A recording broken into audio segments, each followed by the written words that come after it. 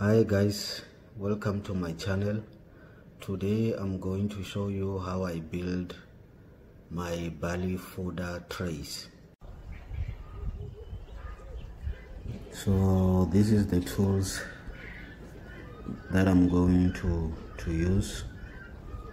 I've got a wooden stick wire mesh two different sizes and a heavy duty plastic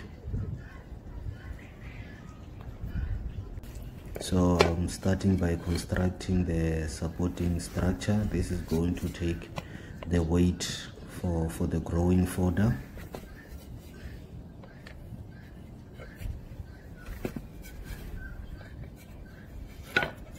So this one structure will have three trays to grow the the fodder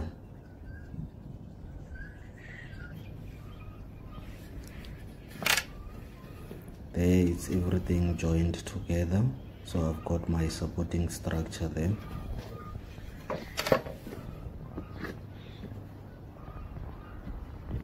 And then I cut the heavy duty plastic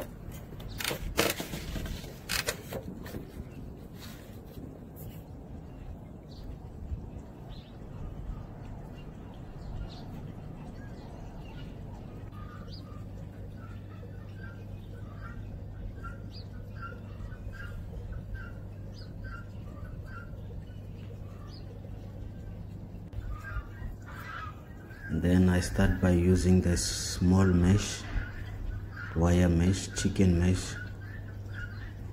It is also cut to, to size. And then after that I put the big wire mesh. So this will take all the weight for for for the fodder.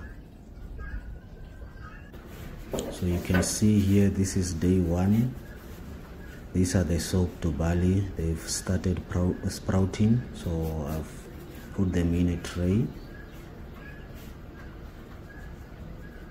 So this is your day four day three and a half to four days they've started growing. So yeah guys this is how I build my barley uh, fodder trays. So thanks for for watching and please don't forget to subscribe to my channel. Thank you